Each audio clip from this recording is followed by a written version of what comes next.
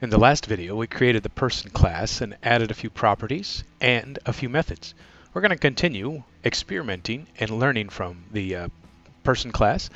And then also we're going to print some documents about the design that we just created. So there's the simplest example of what you would have as an object in an object-oriented program. We can create more people than just P. If I wanted to, I could say person, and I'm going to call him P2. He's a new person. And in this case, I can give three different parameters. Let's say this person is 99, and it's called Granny, and the weight is 92 pounds. Let's see if we can print out Granny down here below. I'm going to do a system out print line, and this time I'm going to print three things. I'm going to say name equals, and then I'm going to join strings together. So I'm going to say p2 dot get name, and I'm going to join some more things. I'm going to put in another label. I'm going to say age equals, and then outside of the quotations I'm going to have the p2.getAge. And then you can guess the last one. We're going to say weight equals, looks like I'm running out of room. So I'm going to maximize my window. And I'm also going to turn on the item called toggle word wrap. So when I get to the end of the line, it will create a new line for me. So let's see if we can get the weight here. So p2.getWeight, and then finally a semicolon. So now let's go and run this program, save the changes, and you can see I have a new string here. Okay, so I'm going to leave a challenge here on the screen for you to do a few more things. Okay, so what I'd like you to do is to create three more people. So I've created P, P2. You could create other people. Let's call this thing a person uh, best friend. And he is going to be a new person. And then you fill in the data inside there. And then, when you're done, print the results. Okay, so this is a good example of how we can use uh, objects to store data. Objects can not only store data, but they can do things. Let's say we have some other things that we want our person to be able to do. So I'm going to create a method. This is called a method again, and this time I'm going to put in the word void. Void means there is no data returned. Like this one returned an integer, this one returned a string, this one returned a float, this one will not return anything. It is void. But we're going to make this thing called run. And all it does is print a line to the screen. So I'm going to say he is a system out print line running now. Let's save that. Let's go over to our person now.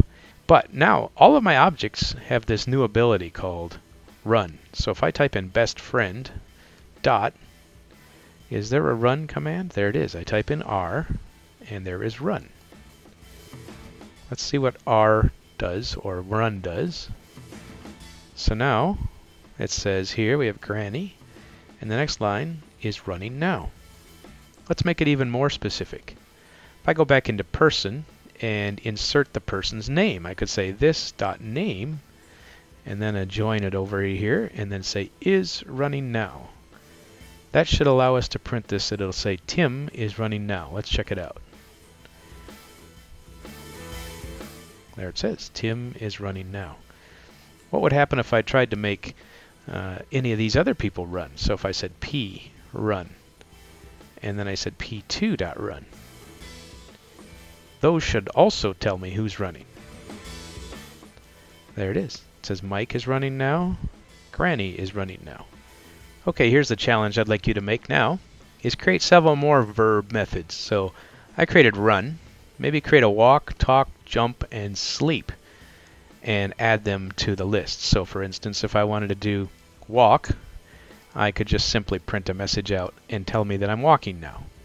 And if I wanted to customize it so I can have the person's name, I can put in is walking now. Once I've created these methods, I should be able to use them in my program. So I can say p dot walk, and it is now available in my suggestion list. And I can say Granny is running and Mike is walking. Now you notice down here at the bottom of these uh, pages here I've had these getters. Get name, get age, and get weight. Okay, so the next thing that we're going to create in this object is called a setter. Setters are how you change the property of an object. So for instance, if I wanted to say that this is a public accessible thing and I want to set the age, I would create a function that looks like this. I have an error that says you need to have some kind of a method return type. Well, I'm going to use void, and that means I'm not changing or returning anything. However, if I want to set the age of somebody, I would expect them to send me a number. So in this function, I'm going to say a is my input. I'm going to say this dot age equals a, and this will allow me to set the age of a person. Let's go back into the person demo, and I'm going to set Mike's age to something else. So let's say p dot set, and there it is, set age, and it's expecting a number. So I initial, initially created him as 23 years old. Let's make him a year older. Let's make him 24. And now let's run it. And when it prints out his age, you should see a 24 here. Okay, I'm going to pause the video now, and I want you to create setters for the other two variables. A setter for name and a setter for weight.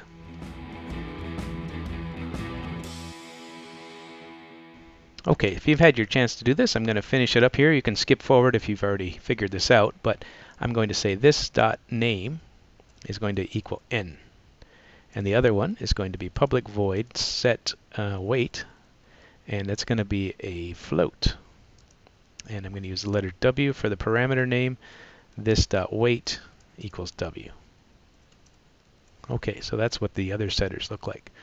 Let's say I came back and I wanted to create some more items in my properties.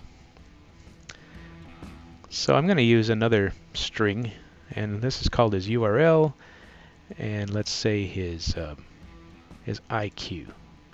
We're going to measure that in an integer. So Eclipse is uh, Eclipse is going to help us out here with creating these setters and getters.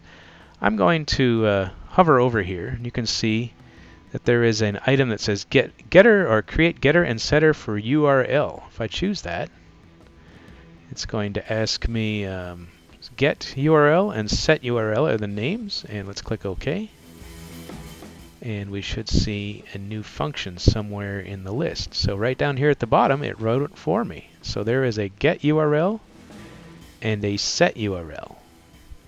And up here there's another little light bulb that says you might want to do this.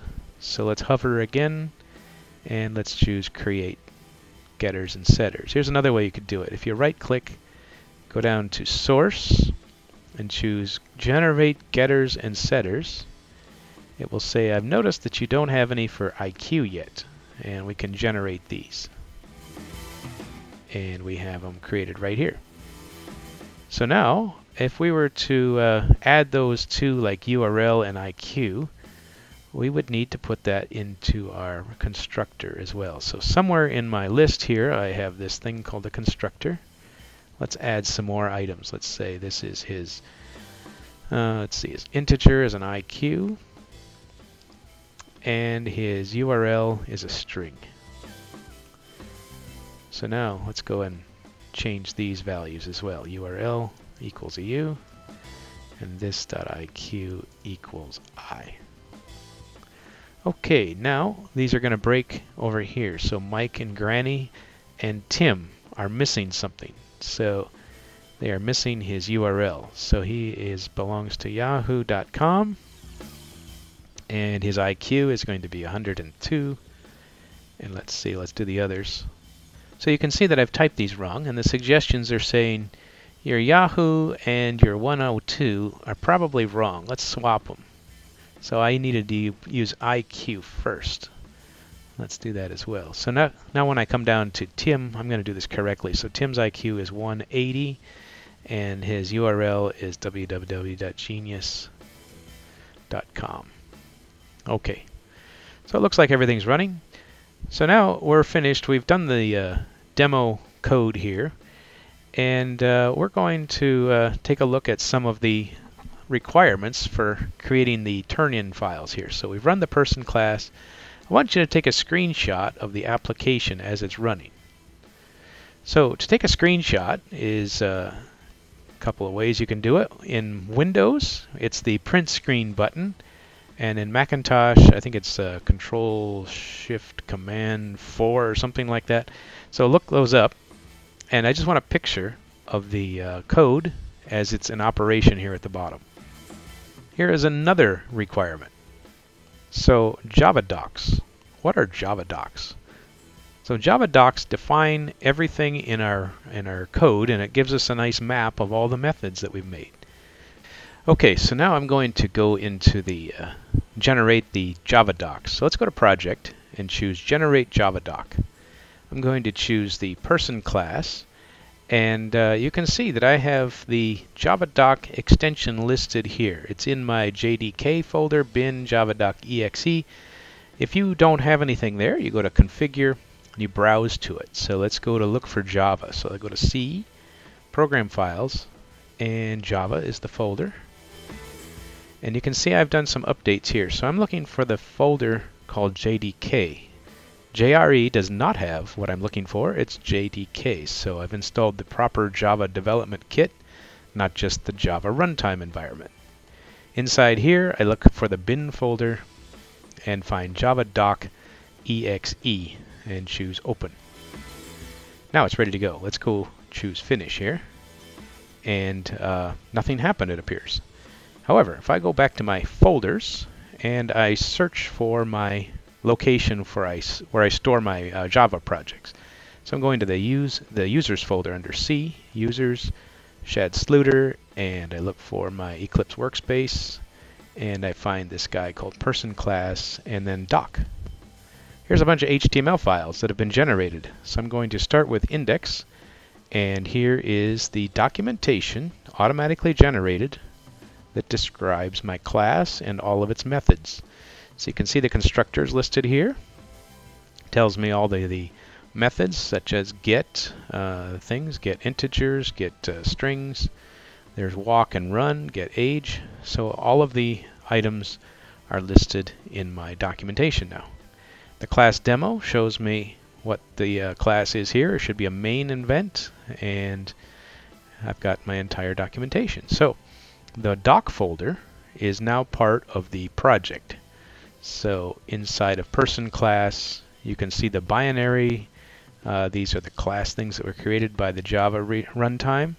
And I have my document folder now to go with it. Okay, to recap what we want to turn in here. I want to see a uh, UML file. So this is a diagram showing me what the class person looks like. I want a screen capture of the output of our application. Zip up the project folder and so I can see all the code that was created, including the doc files. So that ends the uh, first class here, our person class.